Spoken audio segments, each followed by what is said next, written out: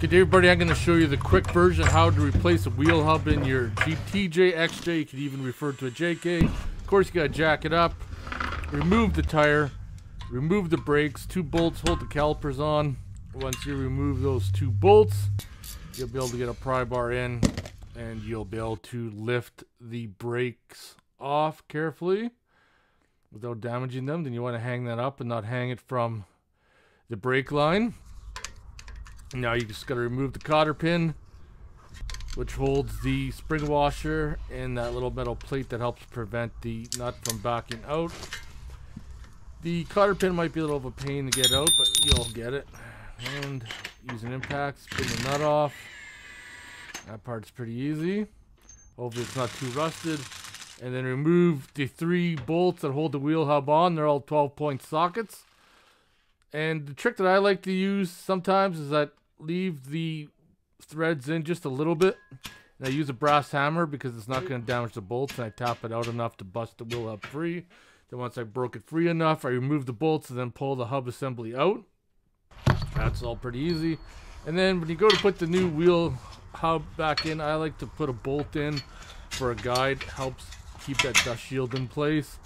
And when you put the wheel bearing in, it kind of helps guide it and makes assembly a little bit more easier instead of trying to juggle all the parts and hopefully that they stay in place. So get the one bolt started, put the other two in, and then use an air ratchet, electric ratchet, whatever you have, just kind of snug them down, and then you want to torque them to spec afterwards. You might want to Google and reference what the torque is for your application and just torquing the three bolts in the back for the wheel hub. Torque them.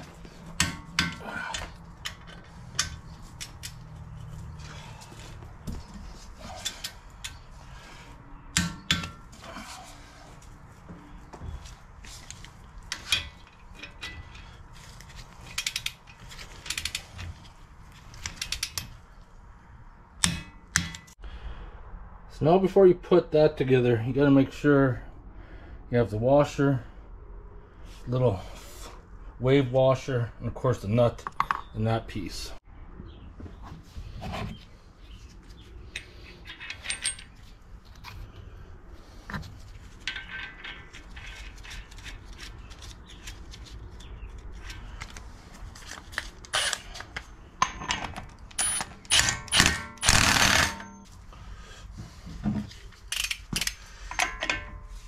Torque it down to 150 pounds. There we go. Put that wave washer on. Put that on.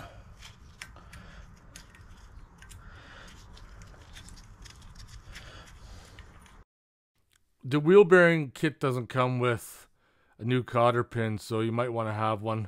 I have a kit those cotter pins are a little on the long side, so I'm just going to trim them down. It's going to bend them in place trim them down, and then they're good to go. Make sure it's torqued down the spec. Make sure your bolts in the back are torqued down the spec. And then, of course, put your brakes and assembly, everything back together. So I hope you guys enjoyed this super quick video. If you have any questions or comments, post them below. Otherwise, I'll see you guys the next one. I don't like to waste time. Straight to the point. If you can't figure it out, I can't help you. Take care.